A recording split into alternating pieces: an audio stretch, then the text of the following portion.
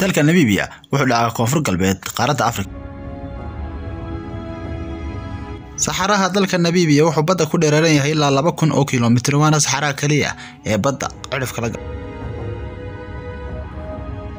waqooyiga saxaraha waxaa dhex mara dhowr webi oo qalalan kuwaasoo rogmada wakhtiyada roobka. Waxaanay bartaasi ka galaan mid ka mid a waxaa lagu magacaabaa huwani valley waxa uu dhex maraa saxaraha dhowr boqol oo kilomitir kadibna waxa uu ku dhammaadaa badda oo halkaasi ka gala.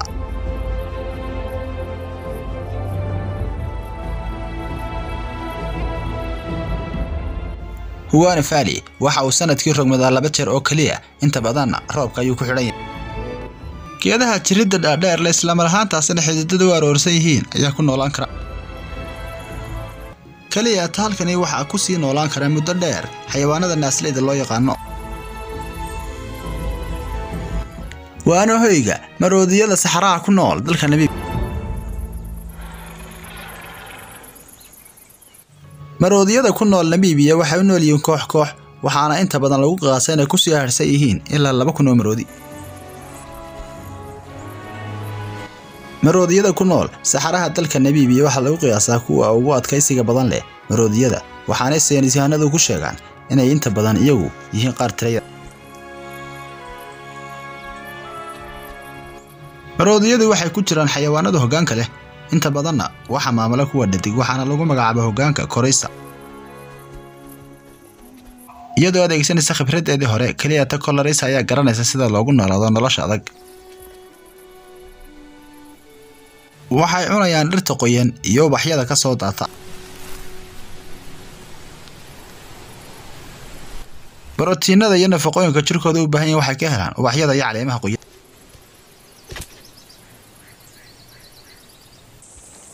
Kolorisa oo ah hoggaanka maroodiyadani halkan ayay ku soo kortay. Dhirtana mid mid bay u garanaysaa.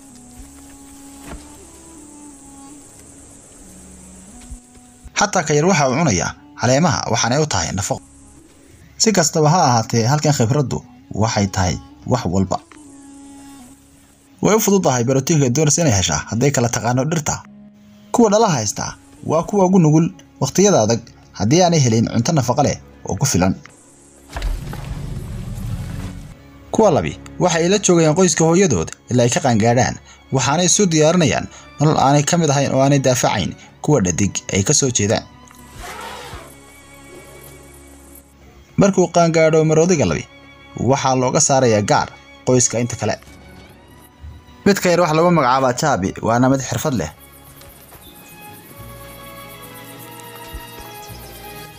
Jaabi waxa uu saloolanayaa geedka waxaana daawanaya walaalkiisa yar doonayana inuu la cuno laanta uu soo duxsaday ee caleenta leh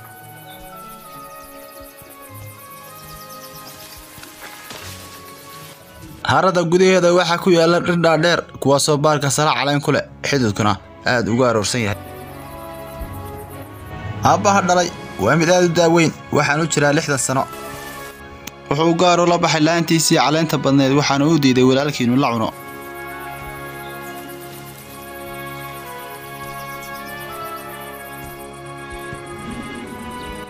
Aabbahood waa lixdan jir daaq badanna ma cunayo.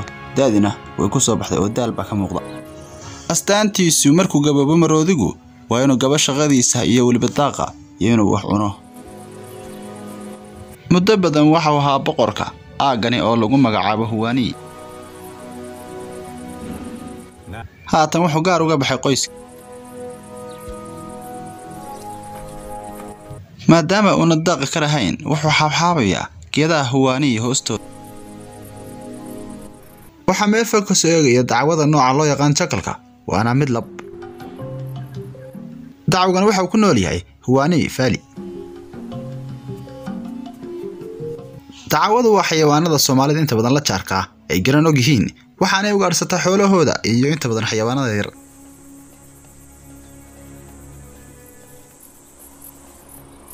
Xagga buurta ayay kolorisa u hogaamisay qoyskii halkaas oo xaabxaab iyo caws ka filay run ahaantii sahankeedu waa u saxan yahay waxaanay heleen xogaa cawsa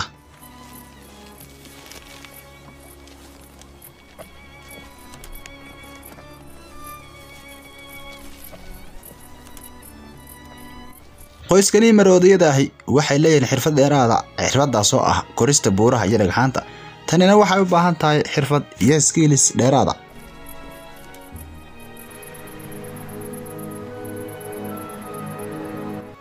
Aabbihii qoyska wuxuu xaabxaabayaa geedaha hoostooda ee halkani dooxada yara nagaaran. Wax badanoo cunana ugamay tegin qoyskiisii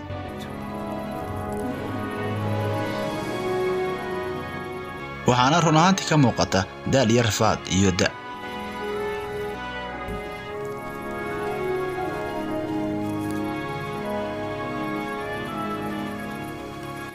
Saxaraha nabiibiya noloshu waa mid aan fududayn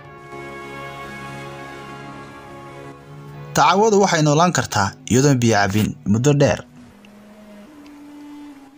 Qaar badan oo ka midii waxay cunaan caleemaha qoyan halkaasoo xoogaa biyaa ka dhadhansanayaan inagoon u egahayn caleenta qaradeeda caleen kasta oo qoyani waxay ka kooban tahay xoogaa qoyaana oo afka lagu qoysto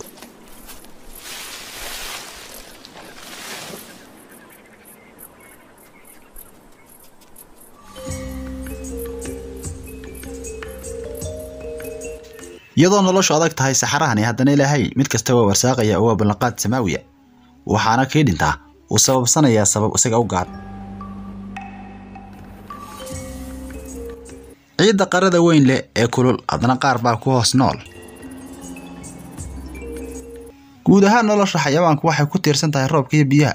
Mid kastaana waxa uu leeyahay xeelad iyo xirfadu ku ugaadhsado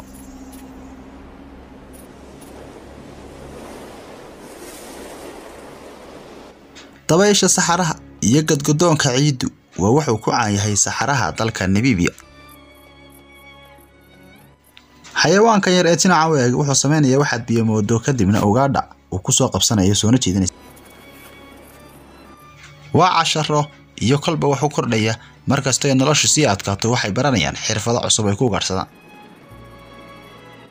nolosha halkani ka jirtaa ma aha mid sahlan saxaraha dalka namibiya waxau ka mid yahay saxarayaasha tirada yar leh ee badda ku darsama. Kulaylka saxaruhu wuxuu hoos u dhacayaa labayo toban digrii marka uu la kulmo umibaxa iyo biyaha badda. Umibaxa biyaha badda waxa uu yahay saxaraha faa'iido mararka qaarna roob ayuu horseeda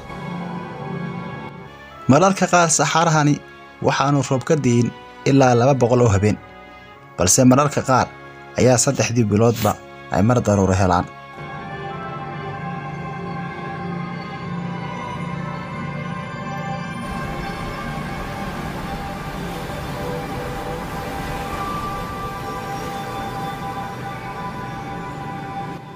biyaha baddu waxay ka kooban yihiin oo qani ku yihiin kalluun badan shimbiro badan inay ku tiirsan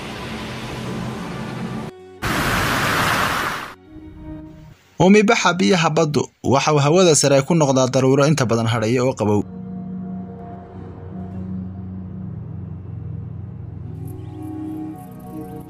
Inta badan waxaa ka da'a roob yaroon badnayn kaasoo loo yaqaano xayska. Qoyaankanina wuxuu anfacayaa xayawaanada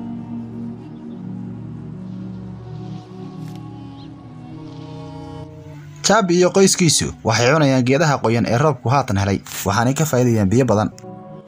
Tanina waxay u oggolaanaysaa maroodiyada ilaa afar cisho inaanay u baahanin wax biya. Noloshu waxay ku fiican tahay wadajirka iyo isku tiirsanaanta qoyskanina inta badan waa qaar isku tiirsan.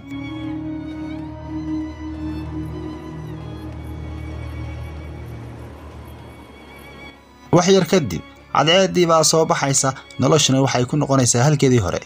Qoyaanka iyo raynrayntina way soo idlaanaysaa. Aaggani waxaa ka dhow qoys kale oo maroodiya kuwaasoo iyaga ay qaraabo dhow yihiin. Inta badanna ay isku aag ka qadhaabtaan